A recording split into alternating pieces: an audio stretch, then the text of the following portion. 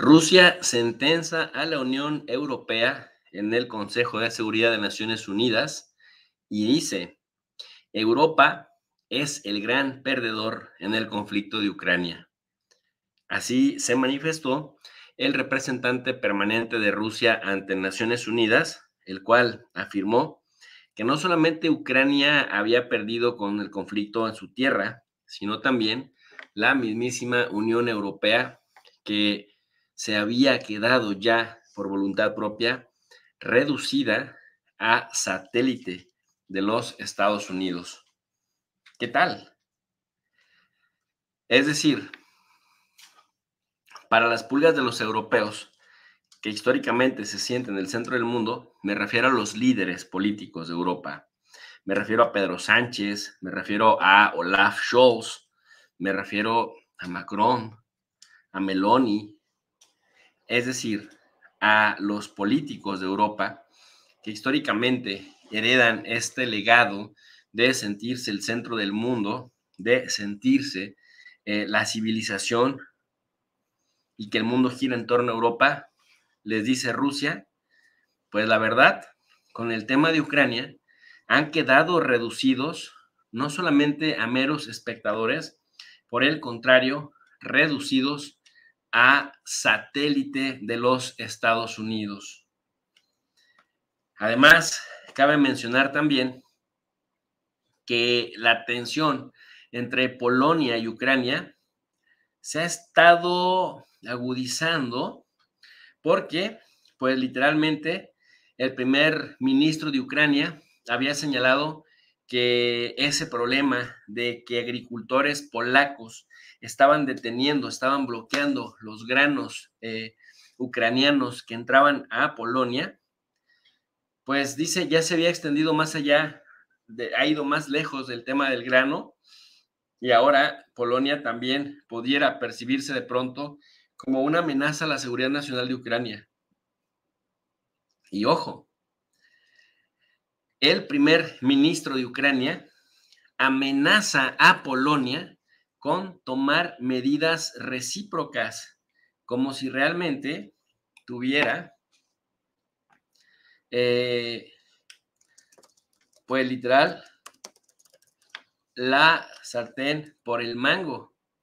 Es decir, los ucranianos se van, eh, pues se olvidan de que eh, Europa ha sido reducida, aunque también por voluntad propia, ojo, a satélite de Estados Unidos, a literalmente un vila chichincle y dicen los ucranianos, si los polacos no asisten a una reunión para abordar con Kiev el bloqueo del gran ucraniano, nos reservamos el derecho de tomar medidas recíprocas.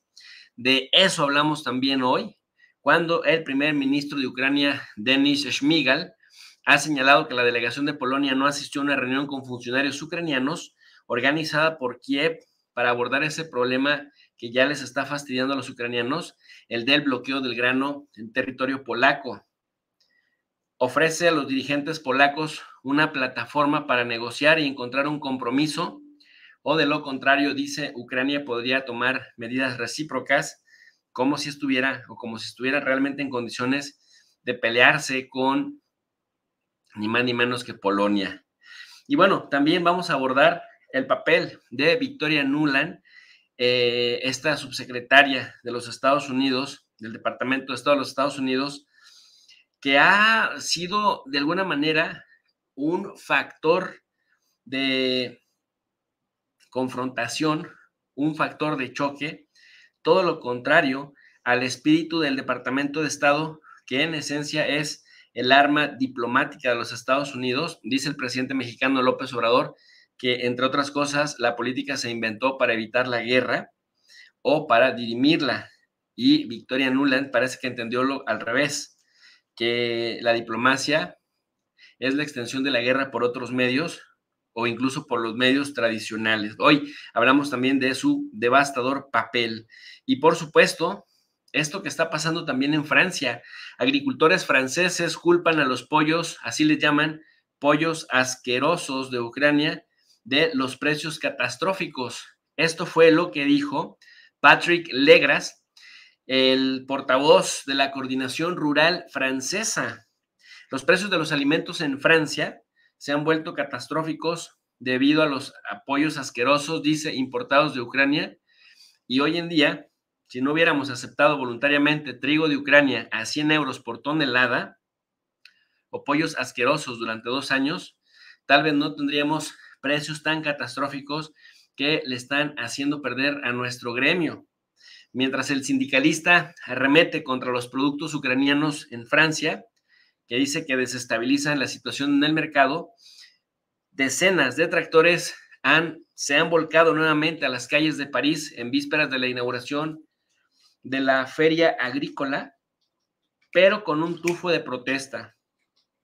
Estos desfiles han sido organizados como signo de protesta contra políticas de Macron y el primer convoy ya lo encabeza la Coordinación Rural Francesa, mientras el segundo convoy lo organiza la Federación Nacional de Sindicatos de Operadores Agrícolas de Francia y los jóvenes agricultores, en un contexto en donde recientemente Macron se comprometía con Zelensky a seguir involucrándose en temas de guerra, pero también en temas económicos para ayudarle al aparato bélico ucraniano a enfrentar a Rusia. Pues de esto hablamos, de esto hablamos hoy con nuestro amigo Hugo Godoy, que ya se conectó directamente desde Quito, Ecuador, y que bueno, Hugo está también listo para abordar este y otros temas. Así que Hugo, bienvenido. Profe, buenas noches, feliz, feliz fin de semana para todo el público de México y América que nos está viendo como siempre. Acá en Quito ya empezó el invierno, la fase última del, fenómeno del niño, en norte del Perú también, eh, mucha lluvia eh, y obviamente eh, muchas inundaciones en la parte costa del Ecuador, norte del Perú y también las cosas están cambiando en el sur de Colombia, por lo que creemos que serán unos dos, tres meses de lluvias intensas.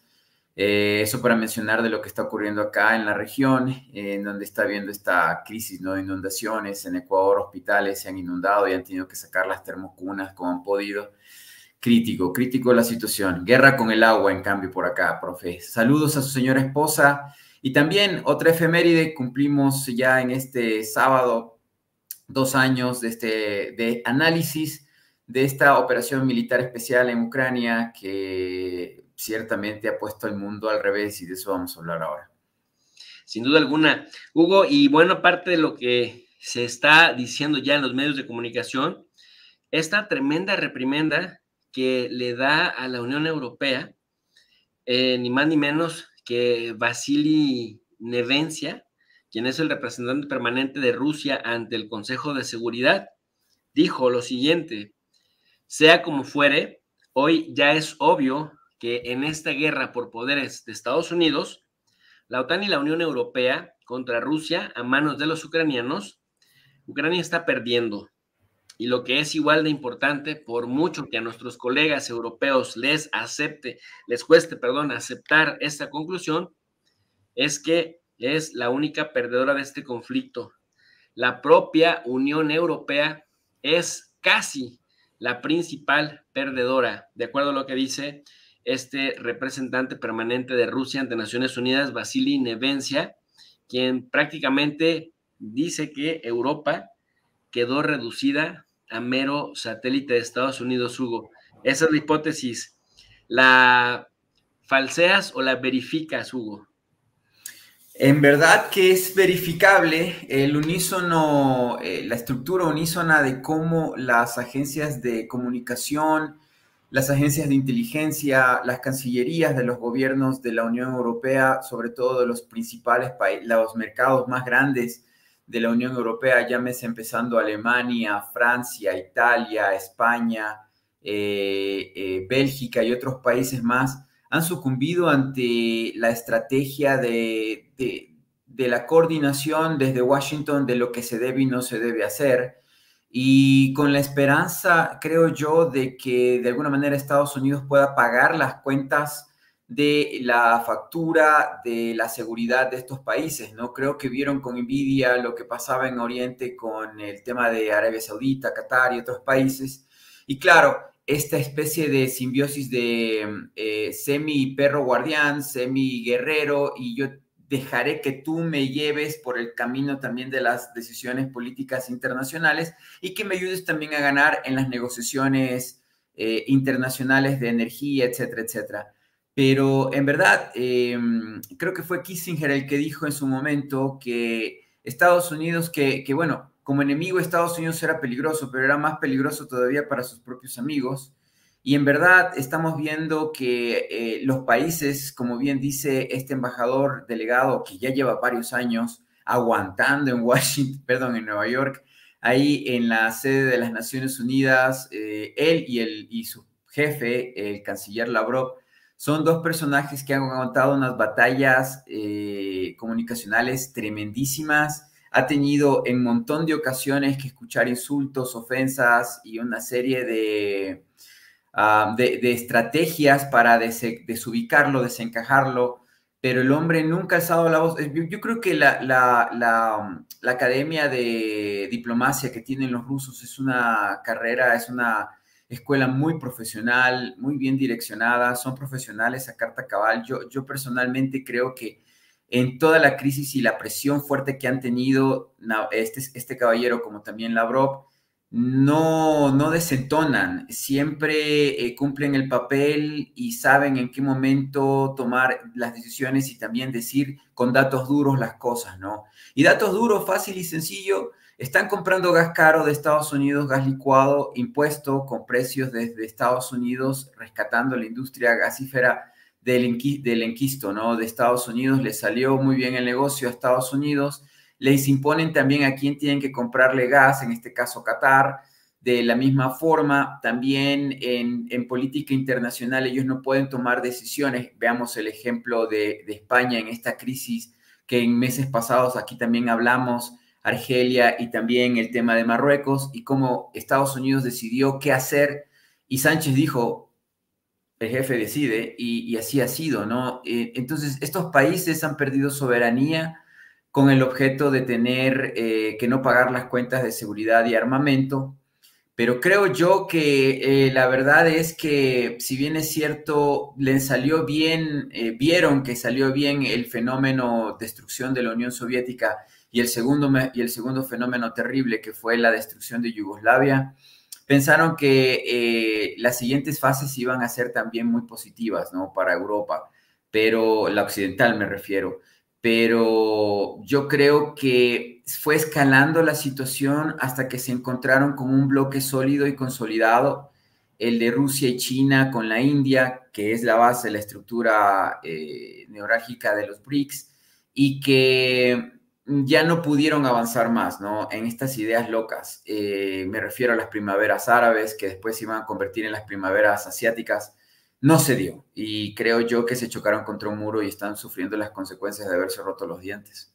Oye, Hugo, y lo dice el representante ruso ante Naciones Unidas, Nevencia, dice, las pérdidas directas solo de Alemania, que se considera la locomotora de la Unión Europea, pues debido a las sanciones antirrusas que se supone que debieran haber afectado a Rusia, por órdenes de Estados Unidos, Dice, las pérdidas alemanas ascienden a 200 mil millones de dólares. Y pregunta, Nevencia, ¿cuál es exactamente el interés europeo en este asunto si hasta ahorita solo han tenido puras pérdidas?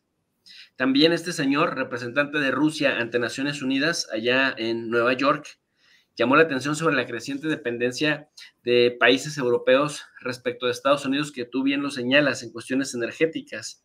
Y dice, Ahora, en lugar de asociación estratégica y proyectos económicos conjuntos rentables, pintan a Rusia como un enemigo y se disparan en el pie, liberándose supuestamente de la dependencia energética de Rusia, pero cayendo en una dependencia energética aún más severa con Estados Unidos. Dice además, hoy no solo Ucrania, sino toda Europa corre el riesgo de convertirse de nuevo en un trampolín para la confrontación militar a la que se le arrastra constantemente desde el otro lado del océano, refiriéndose a Estados Unidos. Pregunta, ¿necesita esto la población de Europa? Me gustaría creer que no. Y es que, Hugo, eh, tres países europeos han estado haciendo cierta trampa para meter a, a Ucrania a la OTAN sin meterla. Francia, Reino Unido y Alemania han firmado acuerdos bilaterales de cooperación militar y de seguridad con Ucrania. ¿Qué significa esto? Que si Ucrania vuelve a ser atacada, no ahora, en otro momento, ellos ya por ley, porque se han obligado a ello, entrarían en combate.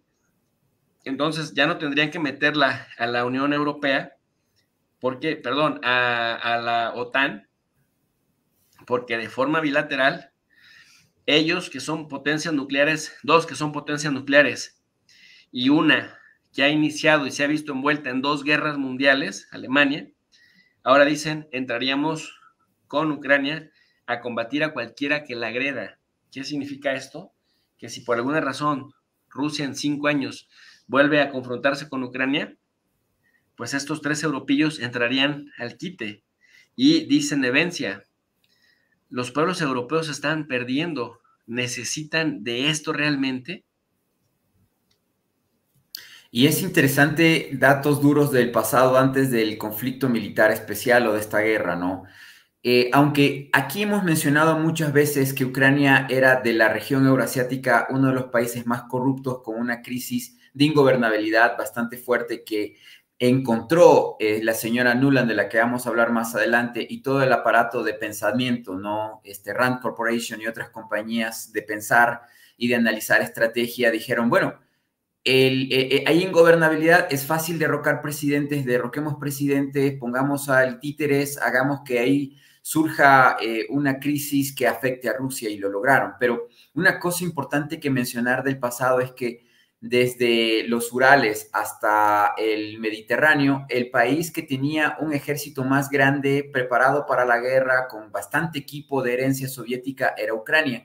Ningún otro país de la Europa occidental, si como ellos se autodenominan, tenía los efectivos, por eso Ucrania ha sido muy difícil rival para, para, Rusia, que en mi criterio es el país técnicamente más preparado para cualquier guerra, pero ha sido un duro rival. Y eso también lo analizaron y lo entendían los estadounidenses, ¿no? Llevar cuál era el país que podía soportar un conflicto militar tan potente y tan fuerte contra Rusia, sino Ucrania, porque no podía ser Polonia, no peor los países chiquitos que más al norte quieren o buscan beligerancia, Finlandia es imposible, o sea, no existía el país, más aún con el envejecimiento de, de, la población europea, pero Ucrania tenía las condiciones y aún así no han logrado frenar esta condición que ya es irreversible y que, como siempre hemos dicho acá, ha provocado que una buena parte de la población joven de Ucrania haya desaparecido por la guerra, por muerte o por heridas o también porque han tenido que escapar de Ucrania para no tener que ir al frente a morir eh, de manera, en este caso, yo creo que absurda, porque como bien dice en uno de sus libros Donald Trump, al débil lo aplasto, ¿no? Lo presiono, lo aplasto y le saco lo que quiero, pero con el fuerte yo negocio.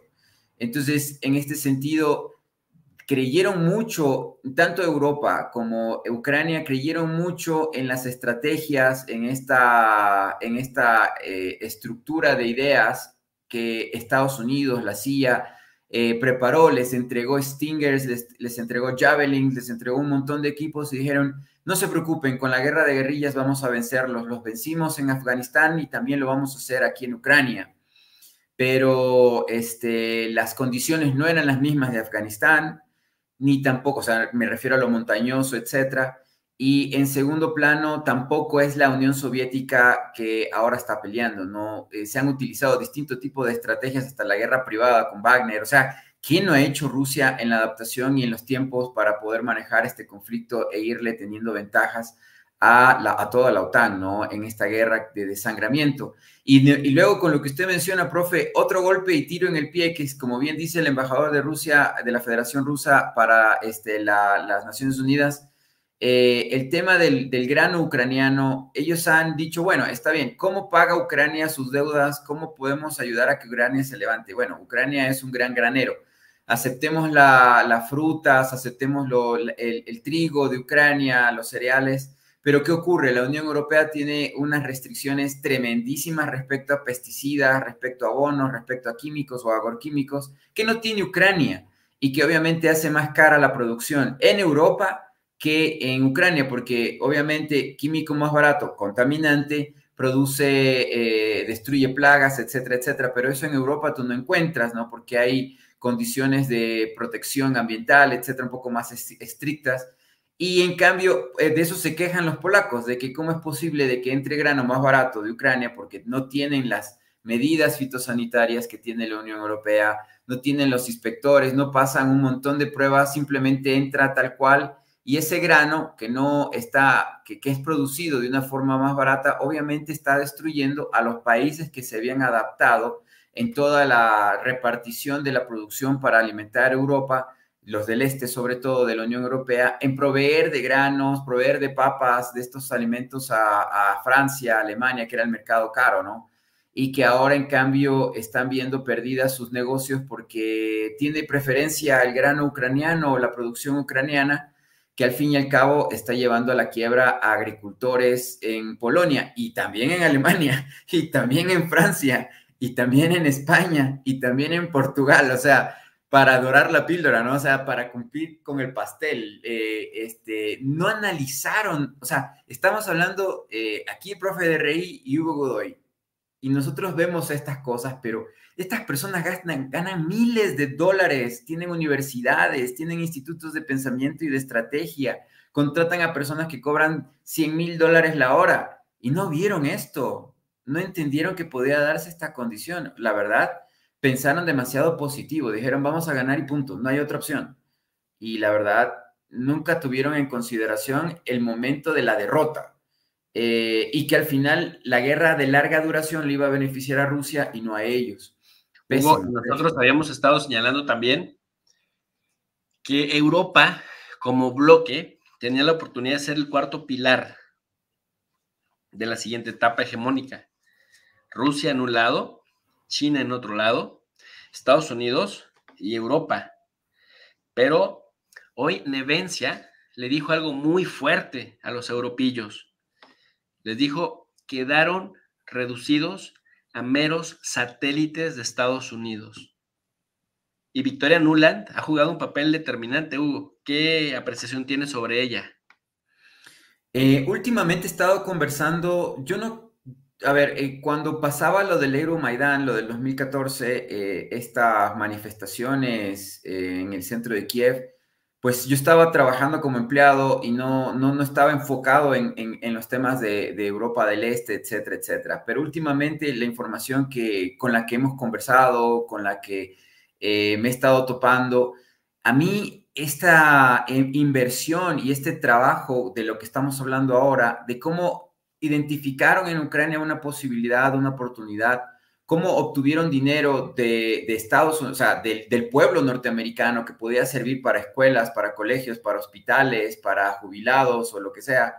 Prefirieron invertir mucho dinero en, desestabilizar ese país, en provocar eh, que la población, justamente haciendo una estructura comunicacional, a lo que yo me dedico, pero ya de manera sin conciencia, eh, adaptaron el pensamiento antirruso y algo terrible, algo terrible en lo que Victoria Nuland eh, podría estar involucrada o la CIA en sí, es esto de los francotiradores, ¿no? De los que nunca se supieron de dónde venían, quiénes eran, pero que las investigaciones de todas partes mencionan y dicen que quienes dispararon a los manifestantes no eran realmente los del gobierno, sino que eran, eh, eran infiltraciones, personas, personas infiltradas que conocemos. En manifestaciones, yo he estado con cámara en mano o con dirigentes políticos caminando en manifestaciones y tú sabes que hay infiltrados, ¿no? Del, poder, que se disfrazan como también este, personajes eh, también civiles, pero que están allí para sabotear, ¿no? Para provocar eh, este, violencia,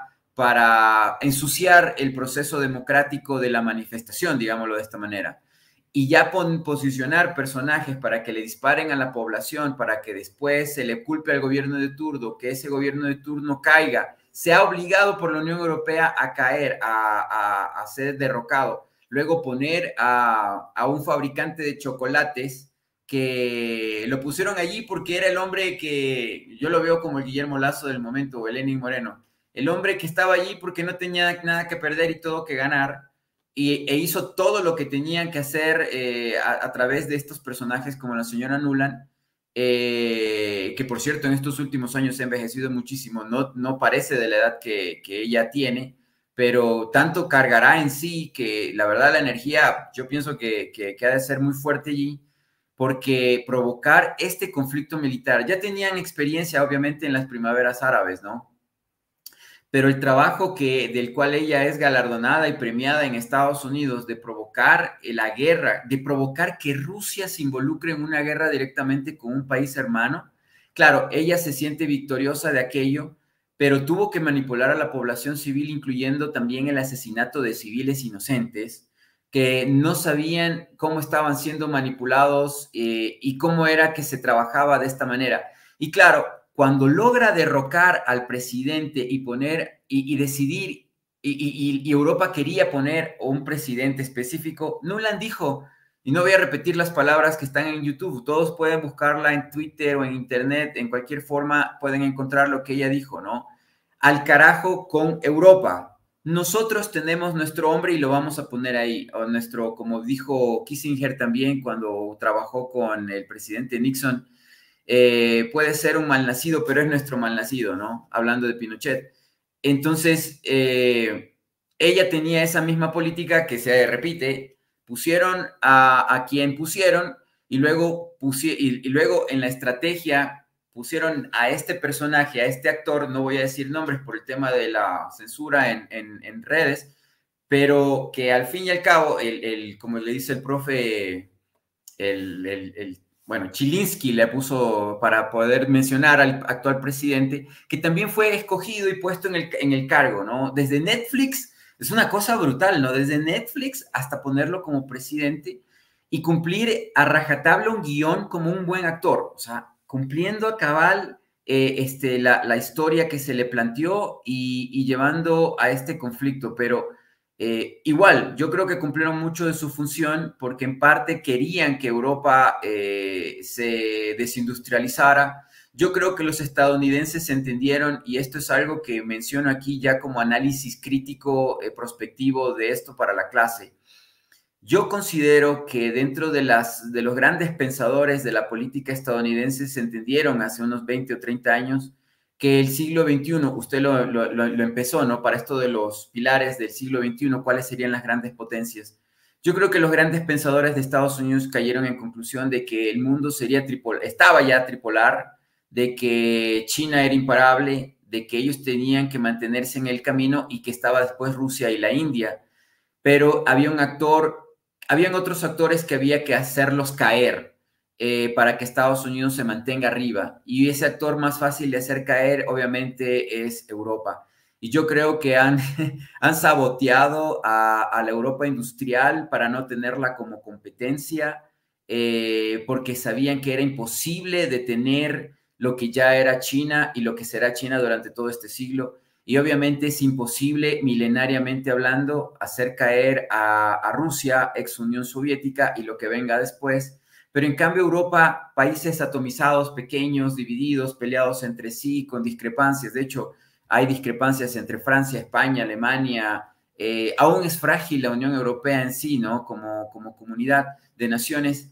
Y ellos vieron también analizando, haciendo este foda de debilidades y fortalezas, de dónde también podían ganar más y, después de destruir estos países árabes fueron con Europa, ¿no? Es una cuestión interesantísima. Obviamente tienen el, conflicto con China y también con Rusia, pero ellos saben que el mundo ya era tripolar. Tripolar significa que Europa no estaba allí en ese campo eh, y había que incluso darle un puntapié o una empujadita para que en mercados internacionales ya no sea competencia en la fabricación de acero, en los automóviles, en la tecnología. Ojo con lo que voy a decir para terminar esto. Europa, y a mí me critican a veces estos comentarios. Rusia tiene redes sociales propias y sistemas de intercomunicación, telecomunicaciones, satélites, hasta tiene un GPS propio, ¿no? Eh, China, lo propio. Hasta la India tiene propias estructuras de intercambio comercial y financiero. Europa no tiene. Europa no tiene. Europa no siquiera tiene una red social europea. Ahí ustedes pueden darse cuenta cómo es que han trabajado para hacerlo dependiente a más de 500 millones de personas a través de estos personajes puestos a dedo, como esta señora eh, von der Leyen, que se lanza, que quiso ser también la, la, la, secretaria, la directora de, la, de, la, eh, de la OTAN, eh, y ahora se lanza nuevamente para ser reelecta, ¿no? En, en, la, en la Unión Europea, pero no, no, creo que gane, aunque le conviene mucho a Estados Unidos que, que vuelva a ser electa, ¿no? Eh, como alta comisionada, pero de verdad ha sido... Hay dos ahí movimientos, Hugo, dos movimientos estratégicos. Úrsula von der Leyen se quiere reelegir como presidenta de la Comisión Europea, efectivamente, pero el otro que va por un puesto grande es el de Países Bajos, Mark Rutte, o Rutte, justamente como secretario general de la OTAN, hace un lado a Jens Stoltenberg, que está, digamos, si fuera un partido de fútbol en tiempos extras, eh, porque Jens Stoltenberg ya no tendría que estar acá. Pero entonces tienes a dos personajes completamente antirrusos, totalmente subordinados a Estados Unidos, entregadísimos a Biden, y se configuran para insistir en caer y en seguir desindustrializándote. y mira, Hugo, no es poca cosa lo que vamos a señalar. Ya los mismos agricultores franceses nuevamente salen a decir, estamos enojadísimos porque el gobierno de Francia le está dando más apoyo a Ucrania que a los propios pues agricultores eh, franceses y dicen esto, que los malditos pollos o asquerosos pollos de Ucrania son la razón principal de los catastróficos precios que se están llevando a cabo en el mercado francés. Entonces imagínate, tienes por un lado a Polonia cerrándoles el espacio, bloqueándoles el ingreso a los granos ucranianos y luego tienes a un Zelensky enojado con los polacos diciéndoles, oigan, dejen pasar nuestros carros, dejen pasar nuestros productos, dándoles órdenes sin ser parte de la Unión Europea. Zelensky, criticando a diestra y siniestra a todo aquel que osa oponerse a sus propias condiciones ventajosas. Y los europeos cediendo en eso.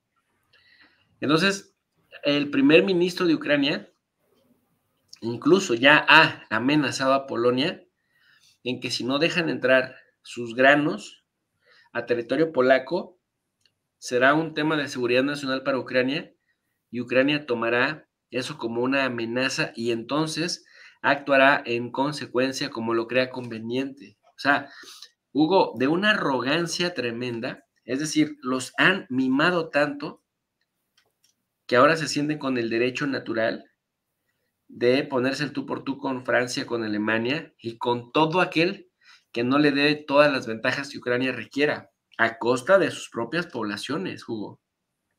Y, traspa y, y compaginando esa historia con un país pequeño, porque estamos hablando, por ejemplo, de Países Bajos, un país desarrollado respecto a la industria agroindustrial, eh, muy técnico, con universidades muy buenas en eso. Comparemos el ejemplo de un país agrícola, que es Ecuador, y que también eh, se le exigió, se le impuso la norma de entregar armamento a Ucrania para ser socio, para apoyar también, y posiblemente después también a recibir las importaciones ucranianas.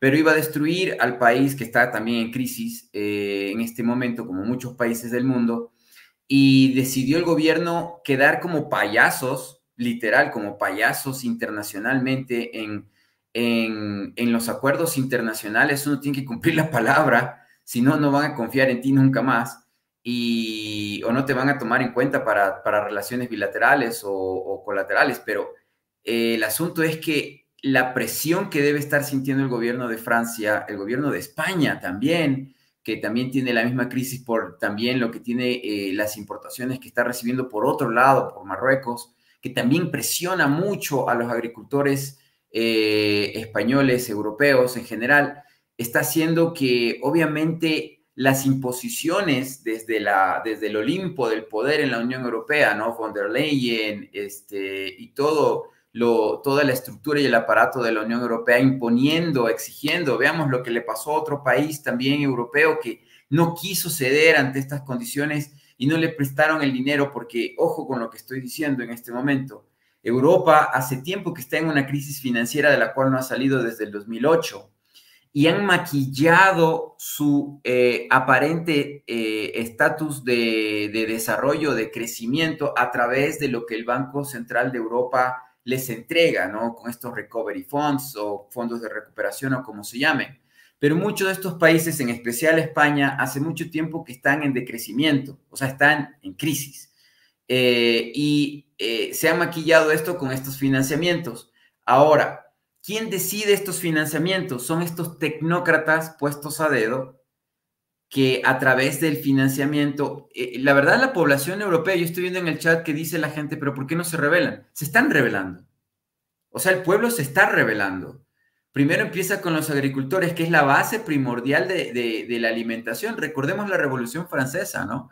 La reina Antonieta dice, ah, no pueden comer pan, pues entonces coman pasteles viene desde lo básico, desde la harina, desde el trigo, desde el arroz, desde el pan. Si no hay eso, el hambre lleva a la, gente a la calle a protestar.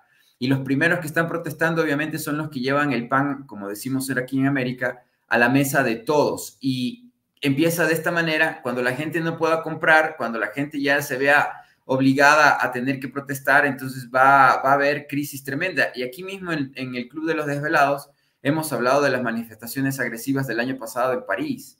Entonces, eh, que se quemaban autos, tiendas, kioscos y tantas cosas por el estilo. Y están jugando demasiado con fuego. Pero claro, ¿qué puede decir Macron? ¿Qué puede decir Scholz?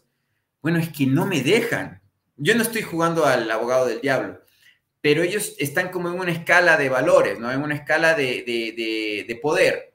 Y claro, eh, Borrell, von der Leyen están arriba la presidenta del Banco Central Europea está, está arriba, esta señora Lagarde, más que todos ellos, y ella es que prácticamente estadounidense, entonces, o británica, entonces, lastimosamente los países están arrinconados a través de una estructura que hubiese sido maravillosa y que ha ayudado muchísimo a que haya paz en Europa, pero se la está utilizando como los malos políticos también en nuestros países utilizan las buenas leyes para destruir nuestro bienestar, para hacer corrupción o lo que sea.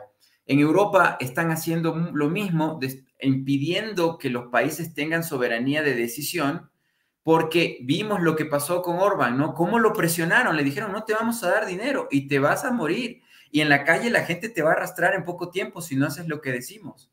¿Y qué tuvo que hacer Orban? Ceder. Y se dio rápido, creo que duró menos de un año. Entonces, eh, y así con otros países el dinero, el dinero. Sigamos el dinero y ahí vemos cuál es el verdadero poder detrás de todo esto. Y claro, en el caso de Ecuador, que no es parte de una organización multilateral, que supongo que el gobierno de Ecuador llamó al gobierno de Estados Unidos, ¿tienes los 3 mil millones de dólares que me puedas subvencionar de lo que vendemos a Rusia? No, no tenemos, te podemos prestar 2 mil millones. No, no, no, adiós. Entonces, Rusia, perdóneme. Entonces, así de fácil y sencillo. Han querido financiar a sus propios gobernantes europeos, que esa es otra de las grandes derrotas y esa es otra de las características, Hugo, de ser satélite. O sea, que rompas tus propios protocolos que, y tus normas y, tus expectativas del deber ser, que tantos años te costaron construir y hacer que todos los países la reconocieran. Y después las rompen. Porque no es que Ucrania fuera autoritaria o que a Ucrania se le hubiera ocurrido oponerse porque Ucrania se hubiera inventado el sistema. Ucrania llegó a la Unión Europea, perdón, eh, eh, Hungría, Hungría, Hungría.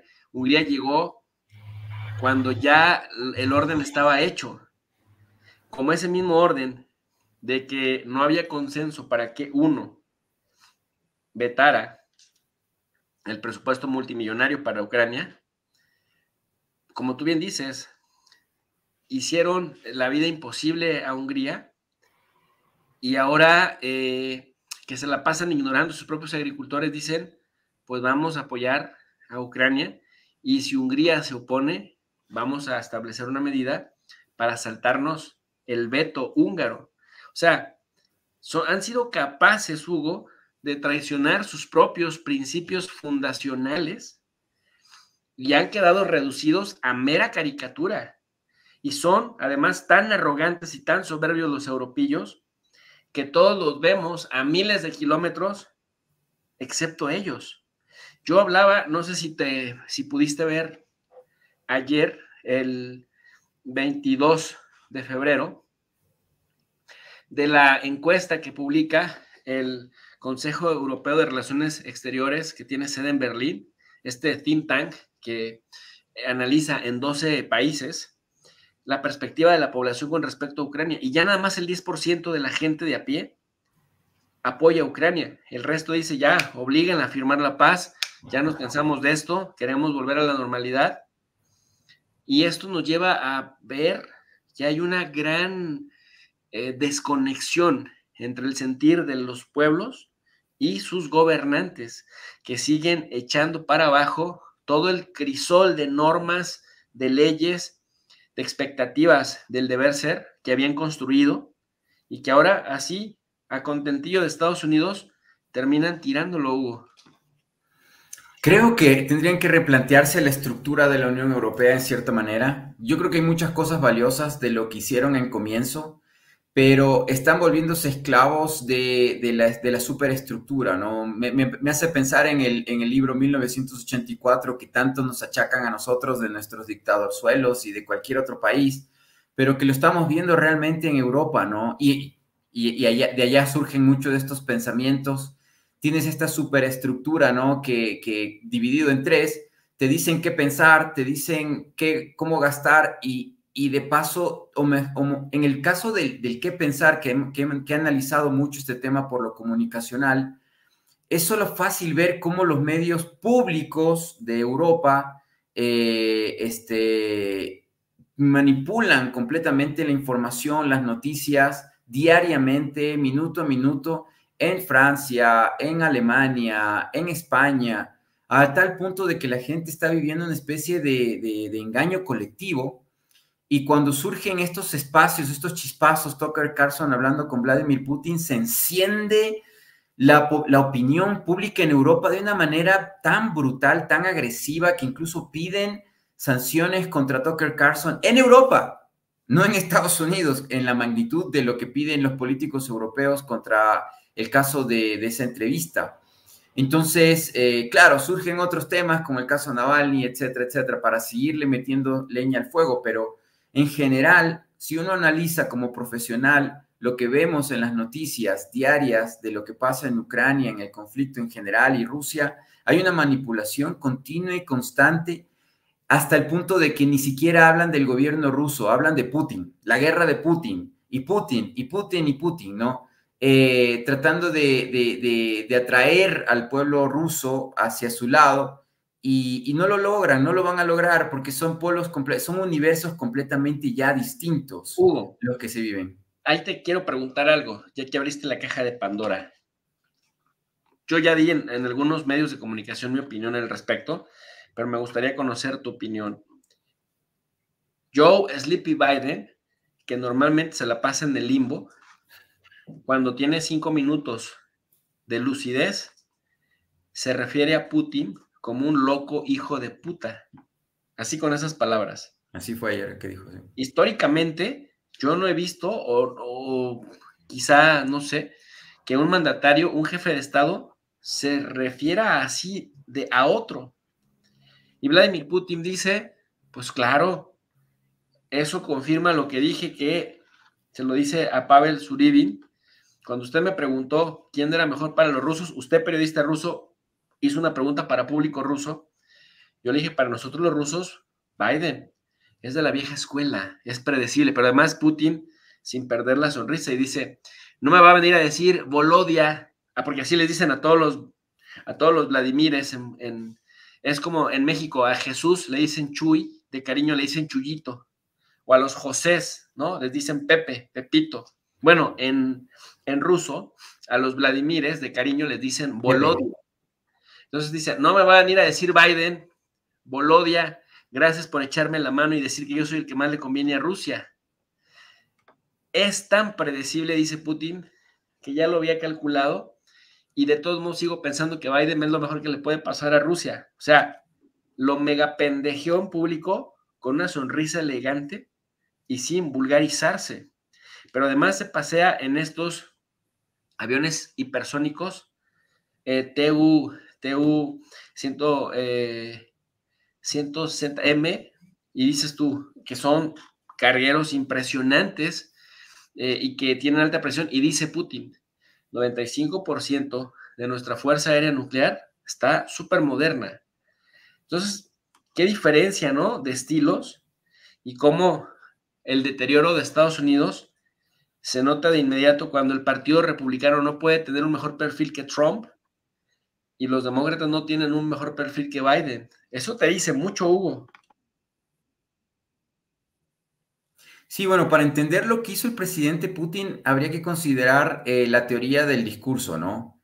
Esto de a quién va dirigido el mensaje, a quién parece que va dirigido el mensaje y qué es lo que quiere ganar el que dice. Entonces, lo que obviamente dijo el presidente Putin cuando le cuando le preguntaron era incomodarlo a Biden porque obviamente si Putin dice que, perdón este ejemplo, que él quiere que la chilindrina gane en Estados Unidos, nadie va a votar por la chilindrina. Entonces, el mensaje, porque él sabe que hay mucho antirruso en Estados Unidos, eh, de, los dos partidos, entonces lo que él hizo simplemente fue ayudarle a Trump a que, a que gane un poquito más de votos. Y claro, eso al equipo de Biden, si es que tiene, parecería que a veces tiene lucidez y quiere ganar las elecciones, eh, por eso dijo lo que dijo también en California, eh, insultando y ofendiendo, pero es desesperación, saca al rival eh, de, de, la comodidad, ¿no? Es como en el box que están midiéndose, midiéndose y de repente uno de los contrincantes empieza a golpearlo y incomodarlo al otro para que el otro empiece también a bajar la guardia. Y eso es lo que hizo Biden, bajó la guardia. Pero claro, lo que el presidente Putin hizo nuevamente es ¿A quién va dirigido el mensaje? Y él habla del periodista ruso, pero el, mensaje era para los estadounidenses. Ya había abierto el camino, la ventana, la, no la ventana, la carretera la abrió con Tucker Carlson y, eh, y dio el segundo golpe. El segundo golpe, porque Putin está en campaña electoral en Rusia, pero Putin está en campaña electoral en Estados Unidos también. Eh, eh, ya estamos hablando de, los, de los hombres poderosos del mundo. Perdón, Entonces, Xi el señor Putin y también el... Y además desactivando a los cuartos de guerra demócratas que venían empezando una campaña de Putin es pro-Trump, Putin quiere a Trump, y este viene Putin y dice, ahorita que lo dice, está en campaña en Rusia, pero también en Estados Unidos, y dice, Biden es mi favorito, Biden es lo mejor que le puede pasar a Rusia. Wow. Y lo que, y Biden es tan tonto que, o ya está muy loco, muy anciano, que no, no jugó al mismo juego de, diplomacia y de trabajar en comunicación. Es un, es un político de más de 30 años de carrera, ¿no? O sea, pero ya está en su declive, en su debacle. Yo pienso que debe ser eso, ya se le olvida todo lo aprendido. Putin lo que dijo fue para dañar, desgastar la campaña de Biden. y obviamente lo logra. Biden reacciona de manera agresiva, de manera soez, eh, y, tienes un Donald Trump aplaudiendo. Tienes un Donald Trump aplaudiendo. Porque obviamente quien llevó a la guerra son los demócratas a Rusia contra Ucrania. Nuland es, es parte del equipo, parte del poder de las agencias de inteligencia que han estado cerca de los Obama, de los Clinton, etc.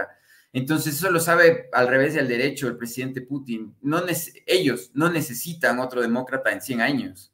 Entonces, eh, lo que hace el presidente, yo creo que fue consensuado, no, seamos tan inocentes. Eh, el periodista, el momento no fue esporádico, en, estrategia no existen las coincidencias. Eh, yo creo que ellos están en campaña en Estados Unidos y, creo que lo están golpeando a Biden y lo van a golpear más fuerte, ¿no? Y esta es la segunda. lograr que tu este, errores, errores en tu rival eh, es, es, una cosa de estrategia, ¿no? Y claro, el presidente Putin lo hace tomando en cuenta el momento tan difícil que se vive ahorita por el asunto Navalny y que Biden aprovecha de tenerla la, a la, viuda y a la hija de la viuda y hablar de que, y en Europa también ya dicen que Putin lo mandó a matar a Navalny, etcétera, etcétera, claro, en plena campaña electoral, ¿no? Y a un mes de las elecciones en Rusia, y, y, y, tratan de aprovechar esto para, para también eh, ocultar lo que está haciendo Rusia en el terreno de la guerra, ¿no? Que es avanzar de manera acelerada y claro, viene lo de Navalny, viene la viuda que llora, que la señora, por cierto, ya tiene otra pareja, pero bueno, al fin y al cabo volvió a recordar que, tenía un esposo. Bueno, esos temas no son personales, no son importantes, pero esto, es, esto yo lo he visto en muchos países.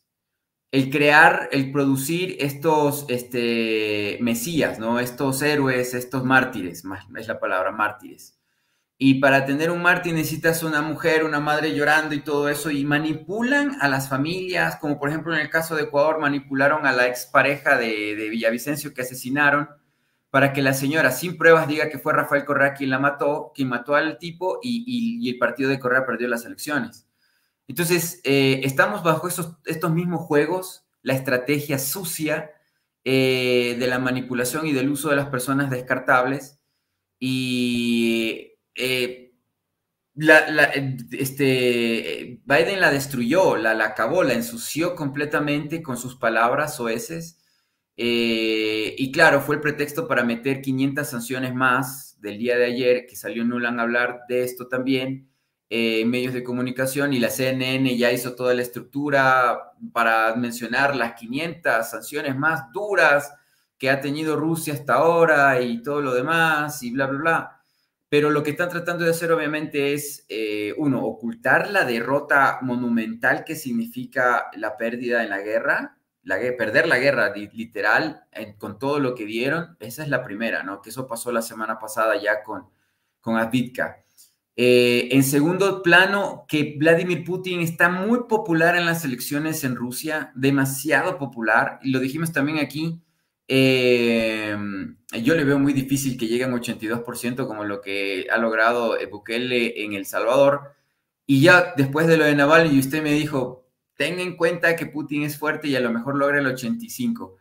Pero le están usando mucho la estrategia, probablemente gane con un 70-75% de la, del padrón electoral, pero que ya es demasiado, pero para un cuarto gobierno, pero en todo caso están peleando para que él no, gane, no llegue, y para crear nuevos navales también este, en Rusia y también provocar de alguna manera que Rusia se mantenga más eh, separada de los países que han sido sus aliados, ¿no? Porque obviamente Rusia ha logrado esto no sola, nadie logra ningún éxito en la vida solo. Y en el caso de Rusia, obviamente, si no existiera China y la India, definitivamente hubiese sido un camino mucho más difícil para Rusia pero eso es lo maravilloso de la multipolaridad del mundo actual, ¿no? no tenemos un solo Perdón. Y además, eso te habla del oficio político de un tipo como Putin. Es decir, porque es cierto, ahí estaba en Rusia, ahí estaba en China, pero sin los buenos oficios, sin ofrecer algo a cambio, porque tampoco son hermanas de la caridad. Un chino nunca te da nada así nomás. Siempre espera algo a cambio con ganancia y los indios pues igual. Entonces, claro, ahí estaban fuertes, estaban en su momento emergente, pero Rusia tuvo que desplegar una política de buenos oficios para que también aquellos sintieran el incentivo de su ganancia propia como descuentazos, ¿no? Garantizar su, su, seguridad energética, pero además con descuentazos que les hizo Rusia. Rusia con eso se libraba también del, pues del férreo ataque a la yugular que hacen con sus sanciones y como dice el de Washington Post, mira, tú y yo no sabemos nada, nos equivocamos, el arma secreta de Ucrania es el arte. y el de Washington Post dice, Estados Unidos, ante el fracaso de las sanciones, mira, lo dice, con la economía rusa lejos del colapso, dice The Washington Post, Estados Unidos opta por un castigo más duro. Rusia ha sobrevivido a los esfuerzos estadounidenses y europeos por paralizar su economía, aumentando el gasto en defensa y encontrando nuevos clientes y proveedores en Asia, lo que decías. Sin embargo, también se debe a los buenos oficios y eso es lo que le ha faltado a Estados Unidos.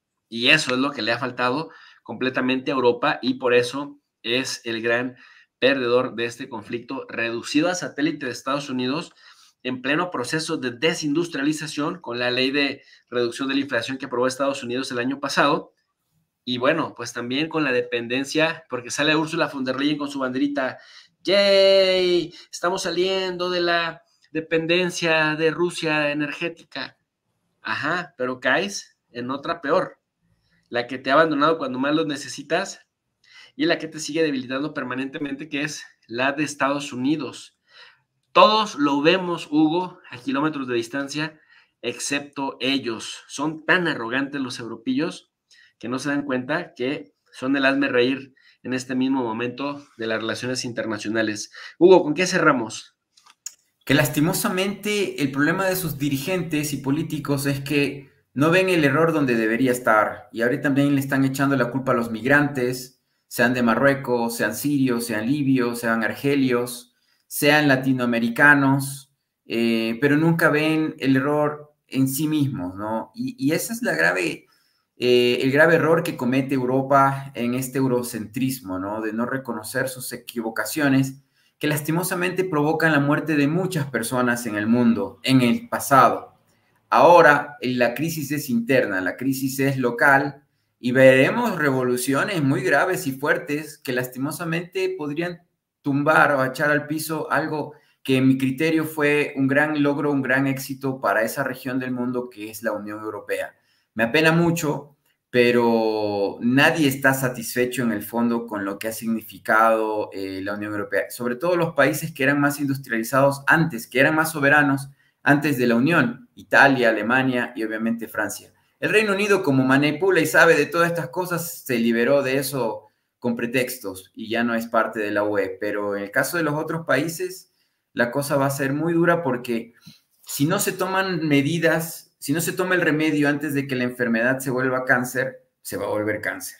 Y lastimosamente están yendo directito hacia el hoyo y no veo, y si von der Leyen se reelige, y si tenemos en este año elecciones de ultraderecha, que el fascismo eh, haciendo un análisis fácil de, lo que está pasando en Europa, estamos viendo un resurgimiento de pensamiento fascista muy fuerte en Europa y, y vamos a tener que nosotros como americanos verlo de muy lejos. Vamos a tener que tener que alejarnos un poquito de todo eso porque va, va a haber mucha violencia, profe. Eso es lo que quería mencionarle. Penosamente yo tengo familia en Europa, más de la mitad de mi familia, mi santa madre vive en Italia, entonces eh, no lo digo con cariño, con gusto de como sudamericano, ah, sí, que ojalá se destruya Europa, no, para nada.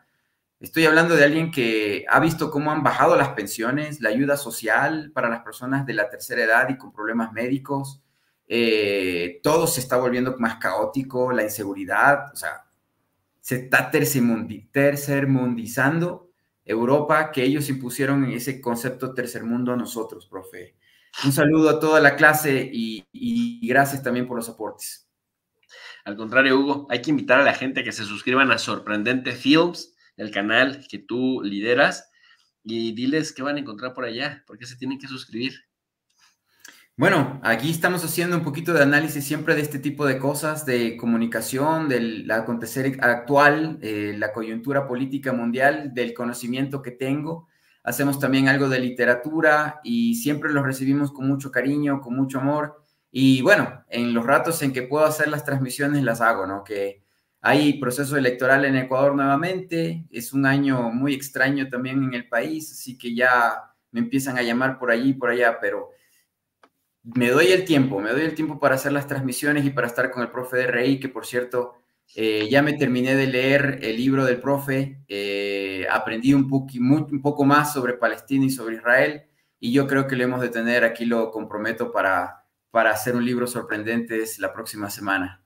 Perfecto, mi querido Hugo, ahí estaremos. Pues ya lo saben, mis queridos alumnos digitales, a suscribirse a Sorprendente Films y al canal de tu profe de Rey porque queremos ser sus ojos en el mundo para elevar el nivel de análisis en las redes sociales. Hugo, muchas gracias, feliz fin de semana buenas noches y seguimos en espera de la bonita sorpresa familiar.